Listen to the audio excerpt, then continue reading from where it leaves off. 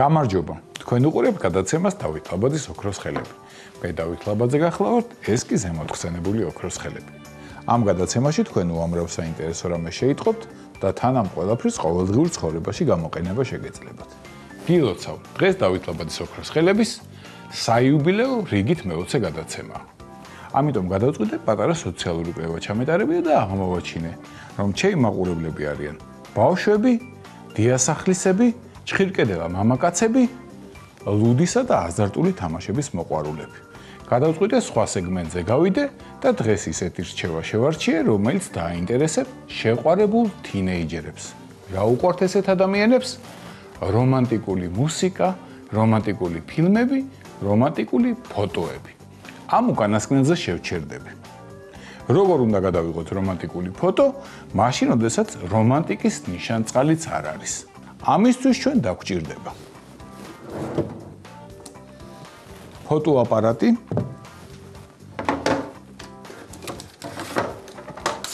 შავი ქაღალდი. მაკრატელი. და სკოჩი გამოვჭრათ შავი ქაღალდიდან ობიექტივის დიამეტრის რგოლი მე წინასწარ მოვამზადე ეს რგოლები. აი ასეთი. შემდეგ ამ რგოლში გამოვჭრათ გული. და სკოჩით დავამაგროთ ობიექტივს.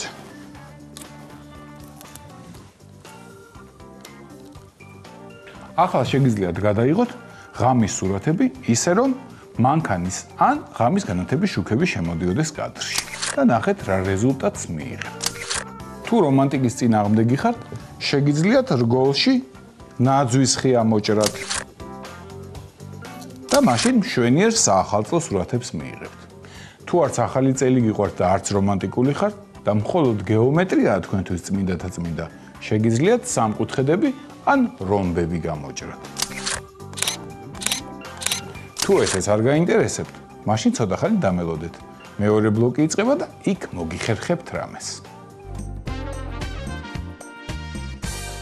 დაი ისიც წინასწარ და ანონსებული და დაპირებული ბლოკი გადაცემისა დავით ლაბადის ოქროს ხელები, სადაც მე დავით ლაბაძე ვარ და ესენი ჩემი ოქროს ხელები.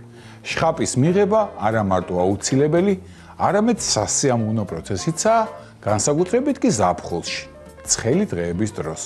მაგრამ არც ეს პროცესი მიმდინარეობს უმტკივნეულოდ.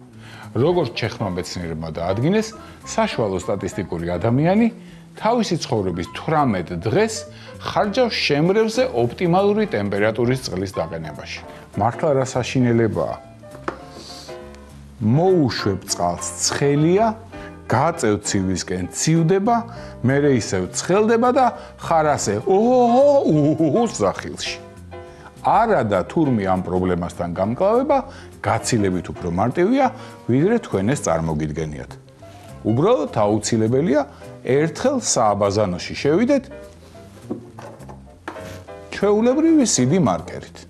და მას შემდეგ, რაც შემრევზე თქვენთვის ოპტიმალური ტემპერატურის წყალს დააყენებთ, CD მარკერით შემრევის მოძრავ და უძრავ ნაწილებზე ესეთი ზოლი გააკეთოთ.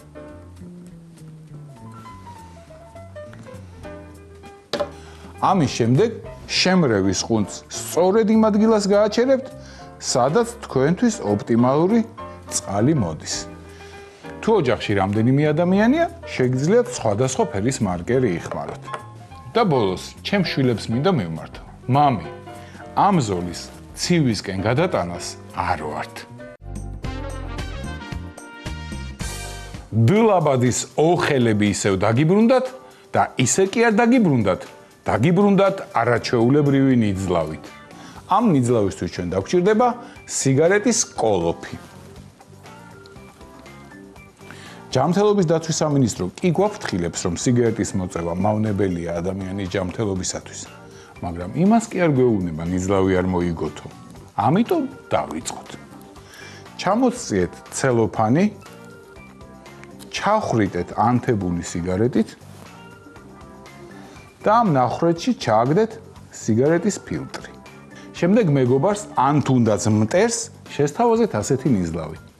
გამარჯვებული ის იქნება, ვინც ფილტრს ცელოფნიდან ისე გადმოაგდებს, რომ ცელოფან სიგარეტს არ მოხსნის და თან არც რაიმე დამატებით ხელსაწყოს გამოიყენებს. თქვენი მეგობარი დაიწყებს სიგარეტის ქნევას და მთლიანად გრავიტაციის ძალას მიენდობა. თქვენ კი ასე მოიქცევით. დაიჭირეთ ასე სიგარეტი და აი ამ სივრცეში ჩაბერეთ. აი ასე.